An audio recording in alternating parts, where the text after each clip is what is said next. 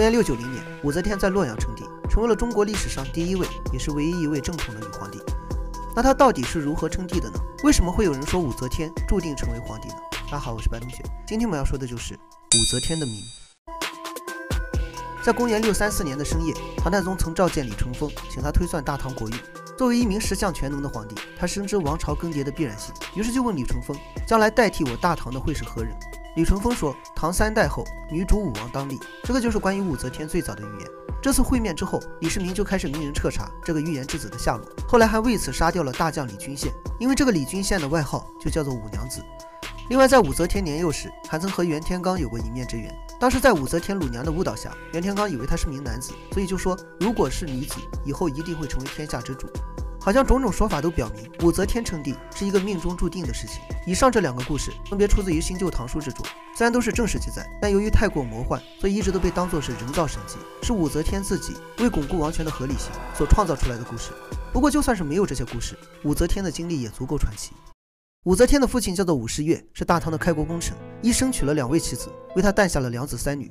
武则天的母亲是季氏，在四十四岁时才嫁给武士月，因此武士月格外的疼爱武则天母女。不过这也引来了正氏良子和其他宗室兄弟的记恨。于是到了公元六三五年，武士月因病去世后，武氏家族开始排斥武则天母女。无奈之下，母亲只能带着她从荆州老家搬到了长安居住。童年生活的落差，也是武则天追求权力的根本原因。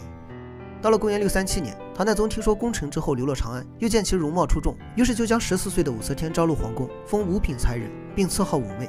根据《旧唐书》的记载来看，武则天应该是自愿入宫，为的就是通过服侍唐太宗来获得自己想要的权利。但是进来之后，她才发现才人之上还有五个官职，多达三十四人，几乎没有可能与他人竞争。再加上想在唐太宗这种帝王的眼皮下争权，确实也难度太大。意识到这一点之后，武则天就将目标转移到了皇子李治身上。他和李治的年纪相仿，本身又相貌出众，在唐太宗病重时，两人就开始眉来眼去。但就在他们刚刚确立关系后，没想到又出了一个新的变故。公元六四九年，唐太宗驾崩。依照惯例，武则天只能和一些没有子女的嫔妃一同去到感业寺出家为尼。这一年是她入宫的第十二年，没有得到权力，反而成了一个无欲之人。到了第二年，李治为了祭奠李世民，就来到了感业寺进香，并在寺中与武则天相遇。当时李治的正妻是王皇后，因为常年无子，李治渐渐喜欢上了他的对手萧淑妃。得知了武则天和李治的情况后，他就主动请求李治将武则天纳入后宫，为的就是拉拢武则天，来帮助自己打击萧淑妃。于是没过多久，在李治的丧夫期满后，就将武则天重新召回了后宫。结果刚进宫没几天，就生下了儿子李弘。按照时间来算，差不多就是李治在感业寺时，两人曾发生了关系。武则天进宫后，萧淑妃自然而然的就失去了李治的宠幸。王皇后很满意，但她没想到这是自己给自己挖的坑。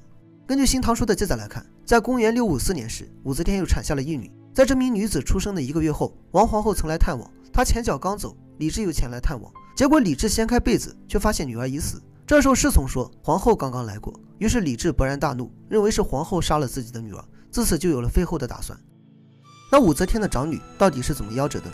有人说是武则天掐死的，有人说是婴儿猝死症。根据一些资料来看，大概率会是后者。首先，李治废后的原因就对不上，而且在武则天称帝后，骆宾王为了反抗其统治，曾写下了一篇《为徐敬业讨武曌戏》。其中列举了武则天的种种罪状，包括杀兄、杀夫、杀母，却唯独没说她杀女，所以在当时并没有这个说法，应该是后人杜撰。那抛去这个原因来看，武则天是如何成为皇后的呢？又如何从后宫之主变成天下之主的呢？其实和运气有很大关系。在每一个快速发展的时期，都必然伴随着门阀士族的垄断，唐朝也是这样。经过了李世民的贞观之治后，唐朝也诞生了一股强大的贵族势力。李治刚刚继位时，朝中存在大量的元老重臣。作为大唐实际的掌控者，自己却没有多少话语权，这对于王权来说是一个极其危险的信号。那应该如何夺回权力呢？李治想到了一个绝佳的方法，就是废王立武。王皇后本来就是贵族势力的棋子，废除王皇后就等于向朝堂透露一个信号。而武则天的背景简单，立武则天为后就等于让大臣们站队。在李治试探性的透露想法后，首先中书舍人李义府带头支持。见此情形，朝中一些见机行事的大臣也都纷纷站到了李治一边。心里有底之后，李治自己在朝中周旋，又让武则天去拉拢开国功臣李绩。此后，李绩直接在朝上表态说：“此陛下家事，何必问外人？”因此，在几天之后，李治先是以阴谋下毒的罪名，将代表贵族的王皇后和萧淑妃等人贬为庶人，将其家族兄弟流放岭南；而后又立武则天为后，并将宰相褚遂良、长孙无忌、于志宁等人贬出京师，重新夺回了大唐的控制权。那武则天作为后宫之主，又是如何走向朝堂的呢？是被李治拉上来的。现在有很多人说李唐皇族有高血压的遗传病，李治也是这样，一旦连续工作就会头痛欲裂，要立即休息。而武则天早年追随唐太宗时，虽然没有得到他的宠幸，但却学到了不少治国方法。于是每当李治头痛时，武则天就会为其处理奏折，代理朝政。这一处理就处理了二十四年。因此，到了朝堂后期，他已经离不开武则天。李治称天皇，武则天称天后，直接形成了二圣临朝的局面。两人从夫妻关系又变成了同事关系。在公元六七五年时，李治自感身体不妙，还曾提出过让武则天摄政的想法。那李治就没有防范武则天夺权吗？对他来说，武则天是一个绝佳的托孤大臣。本来立的皇子就是他与武则天的三子李显，而且在他去世时，武则天已经年近六十岁，不可能再诞下子嗣，所以除了扶持皇子，根本没有其他的选择。这里也注定了武则天的结局，就算是篡了李唐江山，以后也要还政于李唐。到了公元六八三年，李治因病去世，四天之后，李显继位，史称唐中宗。自己是太后，亲生儿子是皇帝，为什么武则天还要称帝呢？因为权力。武则天一共有四个儿子，分别是李弘、李贤、李显、李旦。其中李弘因病早逝，李贤因与武则天争权被逼自尽，这里也有诸多争议。因为他二人的早逝，所以皇位才传给了三子李显。但对武则天来说，能让自己安心的不是子嗣，而是自己手中的权力。因此，在李显继位后，武则天依旧在掌握大权。李显不想成为一个傀儡皇帝，但他没有选择与母亲协商合作，也没有与朝中的势力联合，而是选择了最让武则天担心的外戚势力，准备联合自己老婆的亲戚来颠覆母亲的掌控。李显的岳父叫做韦玄贞，原本只是一个参军，仅仅一个月的时间，李显就给他升到了中书令，这是一个宰相官职，俨然就是在向武则天宣战。宰相裴炎曾在朝堂上质问李显，李显却说：“我以天下给韦玄贞，也无不可，难道还吝啬一世中吗？”听起来很是狂妄。于是，在他继位的第五十五天后，就被武则天废除，随后又扶持了四子李旦继位，史称唐睿宗。这个时候，武则天意识到自己的皇子靠不住，扶持傀儡又有太多的不确定性。想要掌握能让自己安心的权利，就必须剑走偏锋。但一个女人该如何光明正大的走向朝堂呢？首先，她命人在洛阳宫前制造了四个铜轨，分别叫做延恩、申渊、召见、通玄，每个都有不同的作用。其中最重要的就是后面两个，专门用来告密和造神。除此之外，武则天还规定，任何大臣甚至乡野村夫均可告密，而且每个告密者她都会亲自接待。其实这个就是编织罪名的借口。此后，武则天培养了一群酷吏，其中最善于告密的几人还因此创作了一本奇书。这一套操作下来，朝廷上下人人自危，整个长安掀起了一股莫谈国事的风气。之后，武则天又命人在一白石上刻下了“圣母临人，永昌帝业”的字样，然后沉入洛水，再安排人去寻找，号称是在洛水中发现的天使。与此同时，还有一僧人拿出了四卷大圆经，其中称武则天是弥勒佛下凡，命中注定要做天下之主。另外，在这其中还收录了我们熟知的推背图，这也是有关推背图的最早记载。内容为：大序八月，圣明运祥，止歌昌，女主立正气堂堂，往人来朝龙来访，化清四海，整齐八方。其中这个止歌就是武，意思就是武则天称帝是上天注定的事情。在武则天的威逼利诱下和一通造神封王的操作下，朝中大臣只能默认了他称帝的合理性。这个时期没有权臣，而且他本身还有李治的遗诏。于是，在公元六九零年，武则天登基称帝，并改国号为周，定都洛阳，建立了武周王朝。而后，他又将之前的皇帝李旦重新立为了太子，并赐武姓，正是与李唐皇族撕破了脸皮。武则天称帝后干的第一件事就是清理皇室，先后将李渊、李世民，甚至李治的后代中那些除他所生的所有李唐皇族全部都屠戮殆尽。